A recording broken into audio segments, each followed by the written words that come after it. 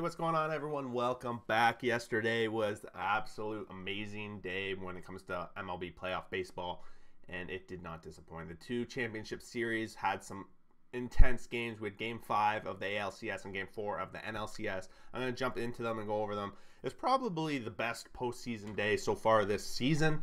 So far this postseason, whatever. Um, started the, the day got kicked off with the Astros five, Texas Rangers four, and guys, I really thought that Texas was going to take a lead in this game. I think most people probably did that they would take the lead in the series, but uh, the Astros pulled it out in the end. This one got kicked off at the beginning here with uh, Bregman. He got the it, the first inning kicked off.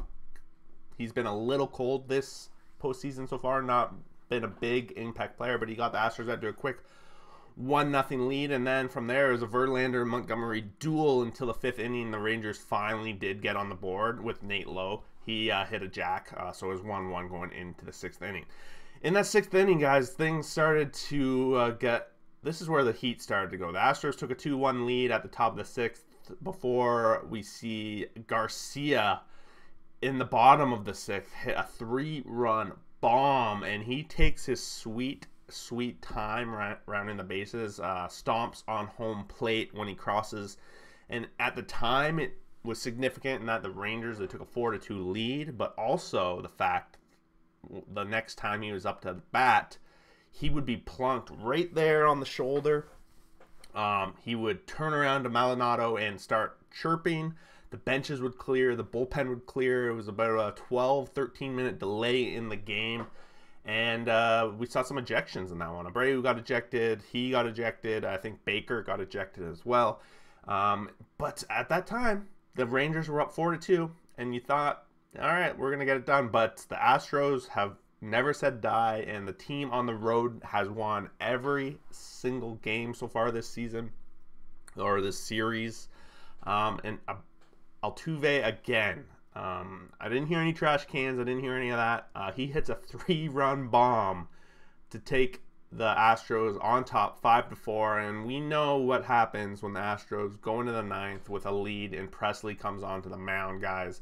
He closes the door. He picks up his a win. Um, he's already he was already out there for the eighth inning as well, so he closed. He shut out the Rangers. Those two innings, those two key innings, gave the Astros a chance to get it back in this one.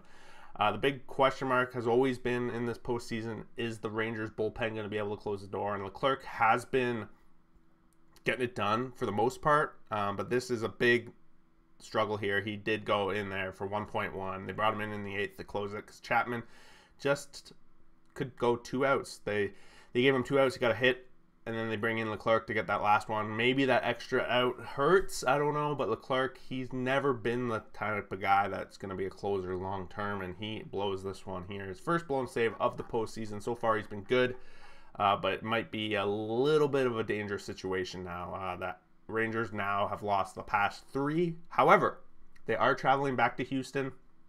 They have won both games in Houston so far in this postseason.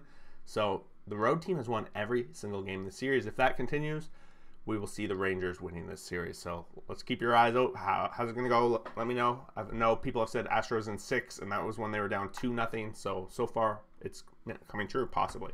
Other game yesterday, of course, Phillies and D playing game four. And this is the opposite. Every game has been won by the home team in this one. So these two series are being opposite. If that holds true, they do play game five today. The D backs will win if that holds true. However, we're going to see, I believe it's going to be Wheeler versus Gallen, another battle. These two guys met earlier in game one, of course, and the Phillies walked away with that one. A couple of runs win. But this game, another late inning kind of comeback for the D backs. Uh, they did get out to an early lead. They The D backs went a little bit off off uh, kilter here, I guess. They had eight different pitchers in this game. They did a full bullpen game and it seemed to work out for them. They got a couple of runs early in this one to take a 2 nothing lead. However, the Phillies, their offense finally woke up a little bit in that fourth inning to get one, followed by another one in the fifth and two in the sixth. It got started when Kyle Schwarber hit his fourth home run of the postseason in that fourth inning. And then in the sixth, we had those couple of runs. The rest of the runs have just been manufactured pretty much. And then we really get to the situation here where it's the eighth inning. Um, and the Phillies are up five to three. And you think, okay, Kimbrel, he's been a little shaky the game before. He blew that ninth inning game. And then we see him come in here again, and he gets into a little bit of trouble. Thomas hits a two-run bomb, and this is where the uh, the Diamondbacks do take a lead here, and they don't look back. Sewald comes in for another close. He's been lights out this postseason for them. Big pickup at the trade deadline from the Seattle Mariners. He's up to five saves in this postseason. He does strike out the side in that ninth inning, and we got to remember Kyle Schwarber did hit a double. He they were in potential to tie this up, they just could not get it done. So we are gonna stay in Arizona for Game Five, and uh, yeah, it's a three game series between these two teams. These championship series, they started off looking like they were going to be two blowouts. Phillies were dominating, Texas was dominating, and both the teams have evened it up. And in the other case, Houston took the lead. Let me know what you guys think.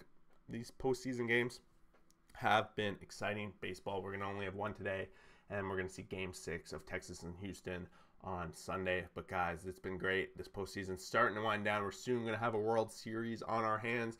And don't forget, um, NFL's tomorrow. I started doing power rankings, so if you haven't checked that out, make sure you do. And we will see you guys out there for that next video. Thanks for watching. Peace.